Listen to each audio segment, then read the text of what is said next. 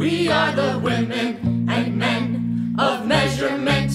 If there's a distance, we find the length of it.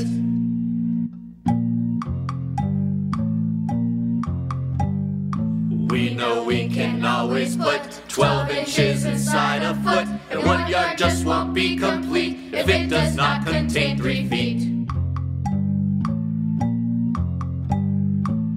One inch is what you got if you're looking at the top of a bottle of pop. On your thumb is about one inch from your knuckle to your fingertip.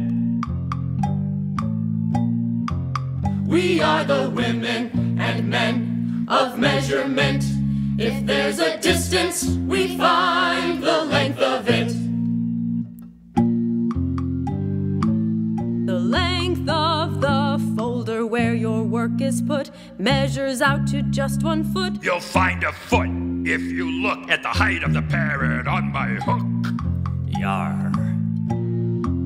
A football field has 100 marks, each one is a yard apart. At the plate with a softball bat, a yard is about what you're looking at. Open your fingers a pinch and make an inch. Then make your hands look just like a foot.